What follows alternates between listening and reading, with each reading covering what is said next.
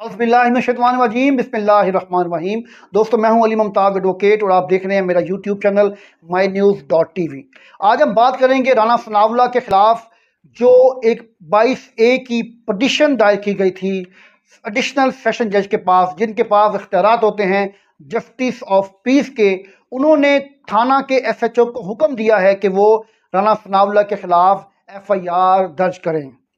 ना सिर्फ़ राना सनावला, बल्कि सी पी ओ लाहौर भी इसमें शामिल हैं और मुलजिम हैं। इन पर इल्ज़ाम क्या है? दोस्तों, बड़ी अजीब व गरीब सूरत हाल थी 25 मई को। आप सब लोग जानते हैं कि कोई नहीं समझ पा रहा था कि क्या अहकाम हैं और किसका क्या वजूद है, किसकी क्या हैसियत है।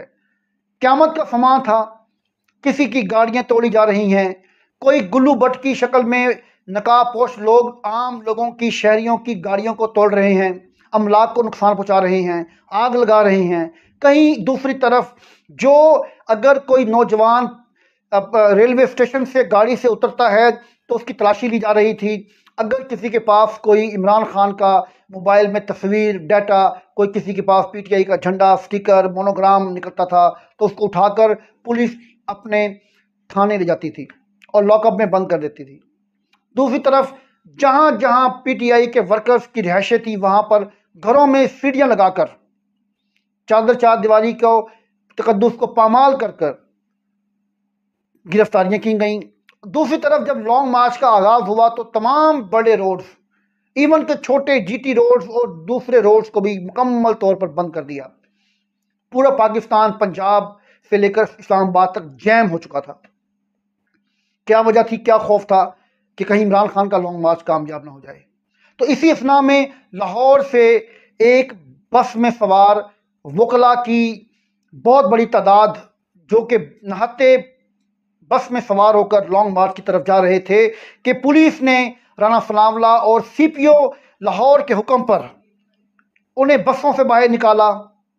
बसों से बाहर निकाल कर उन्हें मारते पीटते उनके यूनिफॉर्म को घसीटते, फाड़ते, उन्हें तशद करते हुए, उनकी डिग्निटी को मुकम्मल तौर पर रोनते हुए, उनकी इज़्ज़त की दक्षियाँ बखेरते हुए उन्हें उठाकर थानों में ले गए।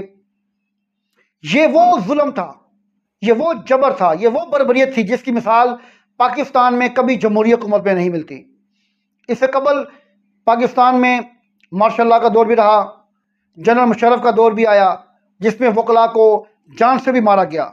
हर तरह से जुल्म जबर किया गया तशद किए गए। लेकिन जमहूरी मुल्क में, जमहूरी हुकूमतों में ऐसा वाक़ देखने में नहीं मिलता। लेकिन वज़ीर दाखिला राना सनावला के होते हुए कुछ भी मुमकिन है। यहाँ पर हैदर मजीद एडवोकेट ने थाने में दरख्वास्त दी, लेकिन जब एफ़ आई आर ना हुई तो एडिशनल सेशन जज, जस्टिस ऑफ़ पीस मियाँ मुदसर उमर बोदला साहब ने हुक्म दिया कि फौरी तौर पर S H O Rana Sanawala और सी पी ओ वगैरह के ख़िलाफ़ एफ़ आई आर दर्ज करें। यहाँ पर मैं आपको बताता चलूँ कि ये एफ़ आई आर वो एफ़ आई आर है जो कि हक़ पर मबनी है। इससे कबल पाकिस्तान तरीके इंसाफ की क्यादत पर राना सनावला के हुक्म पर तमाम बड़े शहरों में, तमाम बड़े लीडरान के ख़िलाफ़ एफ़ आई आर दर्ज हुई, जो कि झूठ पर मबनी है, जिनका हक़ से कोई ताल्लुक़ नहीं है। लेकिन ये एफ़ आई आर जो राना सनावला पर हुई है, ये हक पर है, ये सच पर है।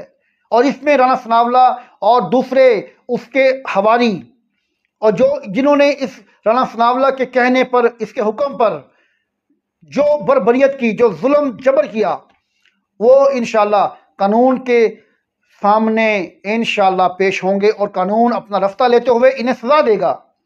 वो वक्त दूर नहीं कि जब राना सनावला हथकड़ियों में, पुलिस के हिरासत में, जजों के सामने पेश होगा और जेल में जाएगा। क्योंकि इसने जुल्म किया है। इसने जुल्म किए हैं। इसने इंसान को इंसान नहीं समझा। इस शख्स के साथ ऐसा सलूक होगा कि रहती दुनिया में लोग याद करेंगे, क्योंकि कोई भी ालम हुक्मरान ज़्यादा देर तक नहीं जाता। कुफर का निज़ाम तो चल सकता है, लेकिन जुल्म का निज़ाम नहीं चल सकता। राना सनावला ने हमेशा जुल्म बरबरीत का काम किया है। इस शख्स ने हमेशा इंसानों के साथ, इंसानों को कत्लेआम किया है। आबिर शेर अली के वालद चौधरी शेर अली ने वाज तौर पर कहा है कि फैसलाबाद में राना सनावला पर 22 के करीब मर्डर केसेस की एफ़ आई आर हैं। ऐसा शख्स वज़ीर दाखिला बना दिया गया है। ये मुल्क को किस तरफ़ लेके जा रहे हैं? ये हमारा मुल्क पाकिस्तान क्या इन लोगों के हाथों में रहेगा?